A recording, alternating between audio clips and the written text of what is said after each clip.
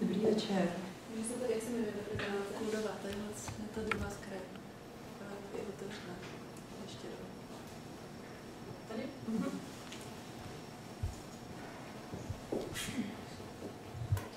Tak mě by pro začátek zajímalo uh, cestou sem, kolik jste potkali červenobílých zábradlí nebo třeba žlutočerných betonových bloků. Možná vám někde chyběl přechod na křižovatce a museli jste jí přebíhat. Uh, nebo... to říkám.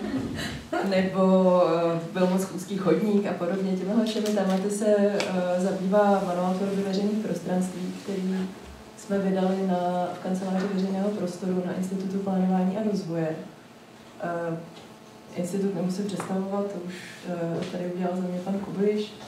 Uh, nicméně součástí institutu je i kancelář veřejného prostoru, uh, která existuje asi rok a půl. Uh, je nás 14 lidí a snažíme se pozitivním způsobem ovlivňovat Eh, podobu veřejných prostranství všemi dostupnými nástroji, které máme k dispozici, což znamená, že se snažíme i vstupovat do třeba do rozeběhlých projektů a podobně.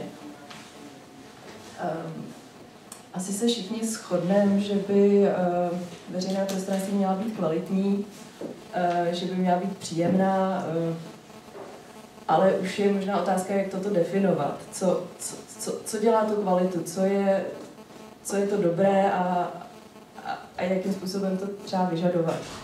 Eh, my jsme na začátku eh, eh, si vlastně definovali nějaké základní vlastnosti, jako je lidský měřítko nebo prostupnost, kvalita pohybu, který by v projektu úprav veřejných prostranství neměly chybět. Když chybí, tak to dopadá takto těch důvodů, proč veřejné prostranství v Praze vypadají tak, to je spousta. Jedním z nich je, že v posledních desetiletích šly všechny investice na infrastrukturu a tou kvalitou se nikdo aktivně nezabýval.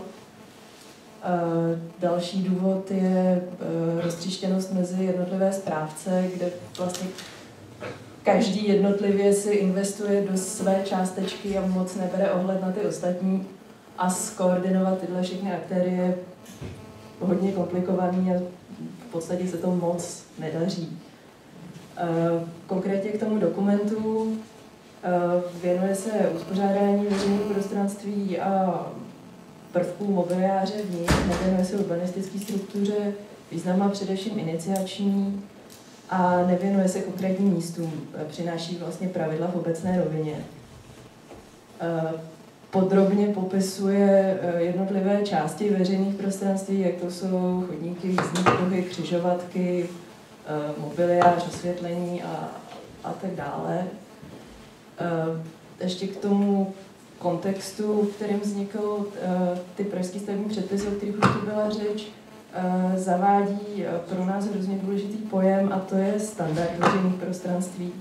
To je vlastně novinka, která tu do té doby nebyla a ten manuál přináší nějaké rozvedení tohoto tématu, vlastně podrobnější principy a pravidla k tomu, jak tohoto standardu dosáhnout. E, vedle manuálu vznikla i strategie, která je určena především zprávě města, politikům a vlastně popisuje ty procesy návrhu veřejných prostranství, jakým způsobem by šlo zlepšit. A v podstatě záleží na politicích, jak se toho dál chopí.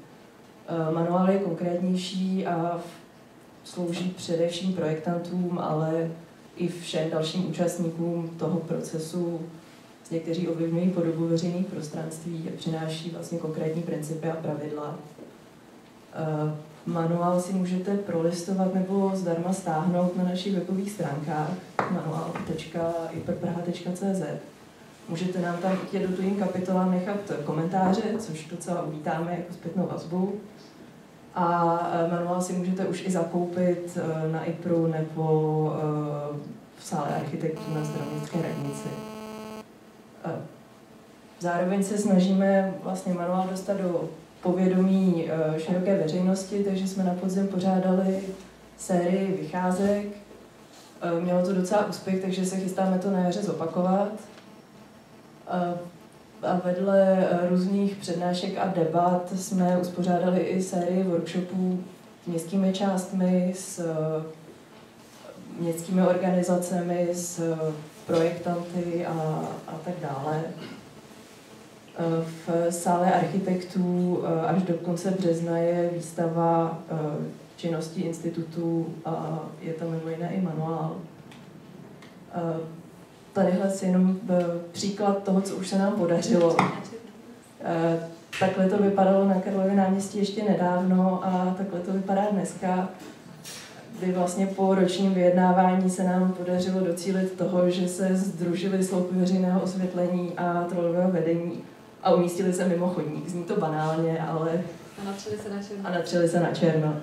No ale vidíte, že v, tý, v těch stromech nejsou vůbec vidět. to vypadalo přes 14 dny, dnes už je tam zítka, už je to rozšířené, je tam zítka sezení, takže Přesně tak. pokračují. No, no. Tam ten zub už není, už je ten chodník rovnej. No, to výborné proti tomu, co to bylo. No, a, a není to vyretušovaná fotka, jo, prosím vás. ne, teď jsem to vyšla. No a vedle toho ještě se věnujeme všem možným dalším aktivitám. Vznikla koncepce pražských břehů, eh, na náš poput vzniknul pražský správce nábřeží, eh, teď se věnujeme příměstské krajině a zelené infrastruktuře, vznikla koncepce povrchu v památkové rezervaci, Eh, účastníme se pracovní skupiny eh, na regulaci reklamy a, a další a další. Eh, já bych to ještě zakončila tady naším oblíbeným citátem, že je poměrně jednoduché utratit peníze za stavbu silnice a je podstatně náročnější udělat to takovým způsobem, aby zároveň vznikl kvalitní veřejný prostor. A je normální, že to vyvolává konflikty, protože se musí sladit velmi odlišné zájmové skupiny. Tak doufám, že se nám to podaří.